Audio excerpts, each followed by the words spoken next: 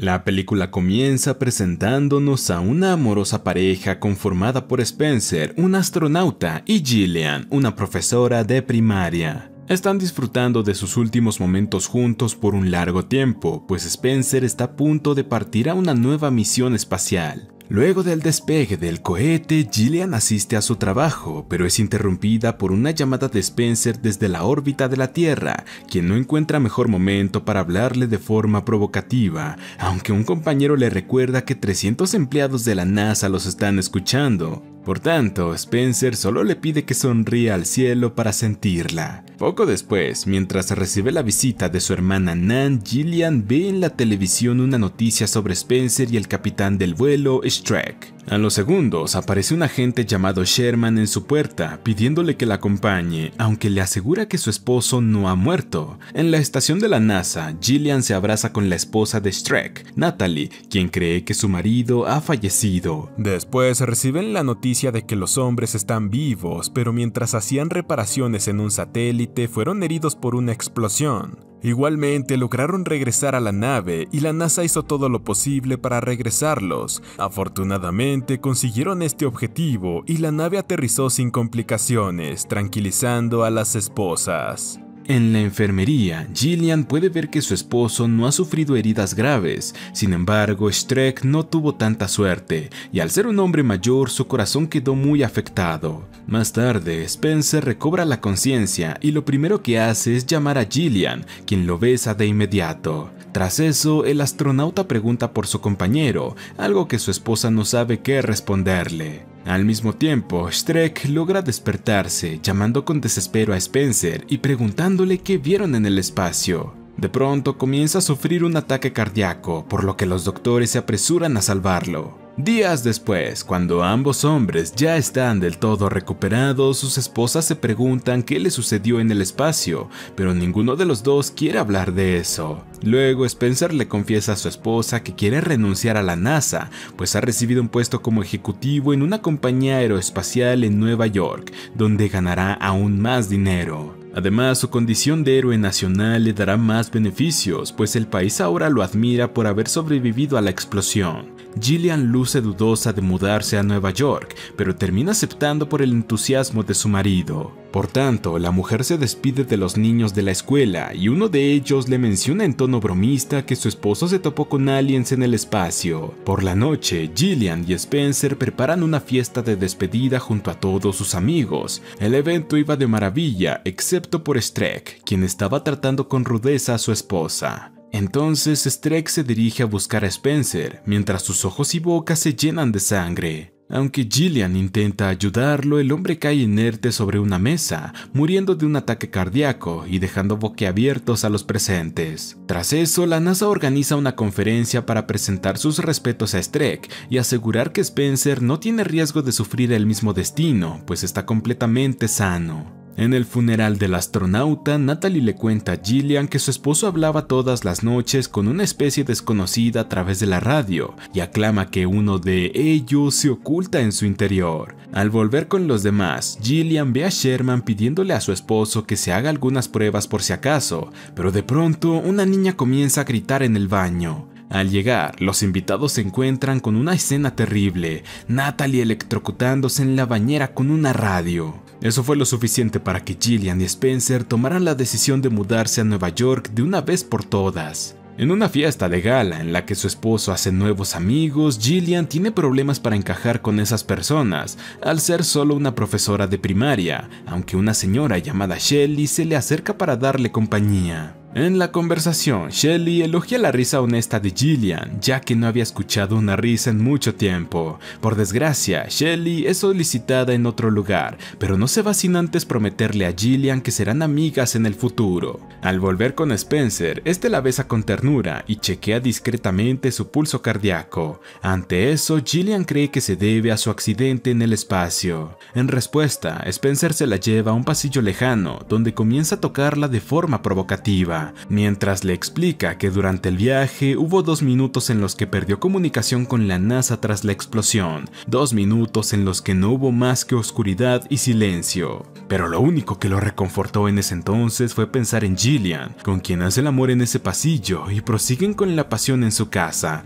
aunque Spencer se pasa de la raya con su agresividad, tanto así que ella acaba por desmayarse. Horas después, Gillian se despierta, aún sintiendo algo de dolor. Luego se encuentra a Spencer escuchando una frecuencia de radio que él cambia apenas la ve. El hombre se disculpa por su comportamiento rudo de antes, alegando que bebió demasiado en la fiesta. Al día siguiente, Gillian trata de encontrar la frecuencia que su esposo estaba escuchando, pero la radio funciona con normalidad. Luego, en su trabajo, la mujer se agobia de escuchar a los niños, quienes jamás le habían ocasionado tanta molestia antes. Decide llamar a su hermana para contarle sobre su estado de ánimo, a lo que Nan menciona que está volviendo a comportarse como cuando murieron sus padres. Por tanto, le recomienda que busque ayuda psicológica, aunque Gillian cree que su bajo estado de ánimo se debe a un embarazo, pues también se siente muy enferma. Sus sospechas terminan por ser ciertas, ya que se toma un test de embarazo que resulta en positivo. Pretendía contárselo a su marido, pero debe asistir a una cena con Shelly y su millonario esposo Jackson,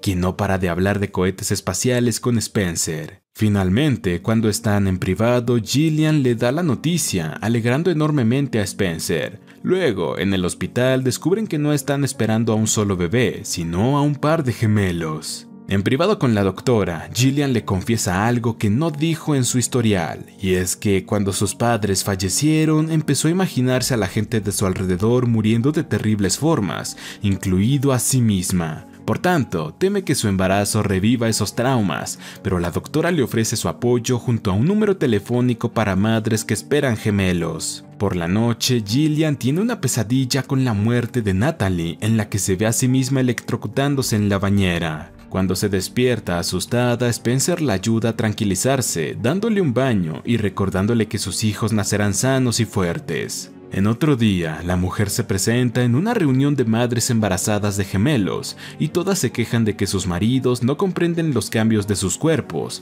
aunque Gillian no participa porque Spencer es todo lo contrario. Al volver a casa, la mujer baila al son de la radio hasta que aparece su esposo por sorpresa, quien la trata con cariño como siempre. Mientras compra juguetes para sus futuros hijos en una tienda, Gillian se topa con Sherman, quien fue despedido por la NASA por insistir en examinar a fondo a Spencer.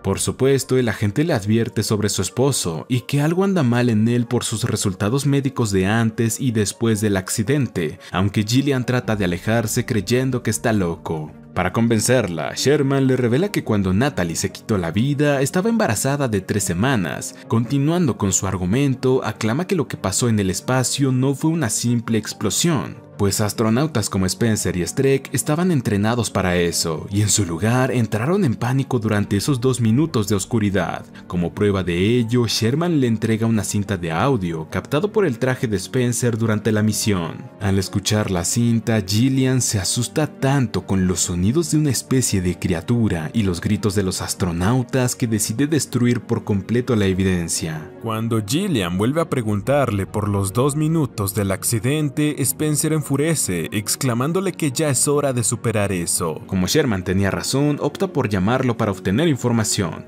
descubriendo que en la autopsia de Natalie encontraron gemelos en su interior. Esto provoca el pánico de Gillian, quien recuerda cómo Spencer la forzó a tener relaciones para salir embarazada. Tras eso, acuerda reunirse con Sherman, pues él tiene algo que debe ver con urgencia. Sin embargo, Spencer se adelanta y le insiste a la gente que quiera hacerse las pruebas médicas. Incapaz de rechazarlo, Sherman deja atrás su maletín para que Gillian lo recoja, pero de nuevo Spencer es más rápido. Ante eso, Gillian le echa la culpa a su confidente Nan, aunque ella jura que no le contó nada sobre Sherman a Spencer. Parecía que Gillian jamás descubriría la verdad, aunque un día en la escuela encuentra una llave en su casillero, cortesía de Spencer por si algo sucedía. Al presentarse en el almacén que abre esa llave, Gillian consigue una cinta VHS, pero de pronto las luces se apagan. Luego de salir a duras penas del lugar, Gillian reproduce la cinta en su casa, viendo a Sherman contándole que si está viendo este video es porque probablemente esté muerto, aunque siempre se aseguró de tener un archivo de respaldo. Entonces, el agente explica que en la grabación del incidente espacial hay una tercera voz proveniente de un alien que atrajo a los astronautas,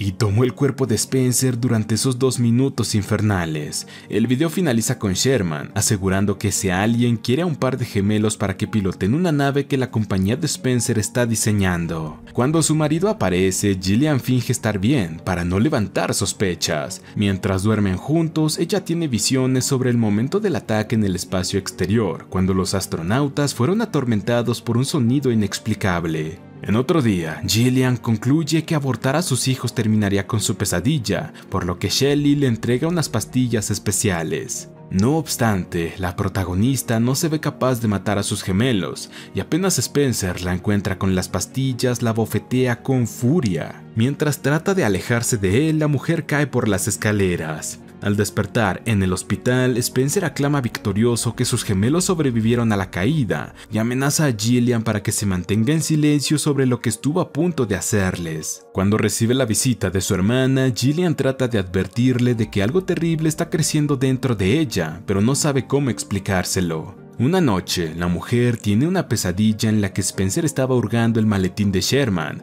hasta que Nan aparece para confrontarlo. En cuestión de segundos, Spencer la aprieta contra su cuerpo con tanta fuerza que Nan cae muerta con sangre saliendo de sus ojos y boca. Asustada, Gillian abandona el hospital para llegar a su apartamento lo antes posible, pues en ese lugar vio a su hermana morir. Pero a pocos metros de llegar, Spencer logra encontrarla gracias a la conexión que tiene con los gemelos. Rápidamente, Gillian entra al apartamento y cierra todas las puertas. Luego se dirige a la habitación de su pesadilla, donde por fortuna no encuentra a su hermana muerta, solo fue una visión. Cuando Spencer consigue entrar, se encuentra la mujer esperándolo con unos cables en sus manos y el suelo empapado de agua. Si él intenta acercarse, no dudará en electrocutarse. Mientras Gillian lo confronta, nota que tiene sangre en sus manos, lo que confirma que su pesadilla no era tan falsa después de todo. Entonces, ella lo señala como el asesino de su hermana y de su esposo,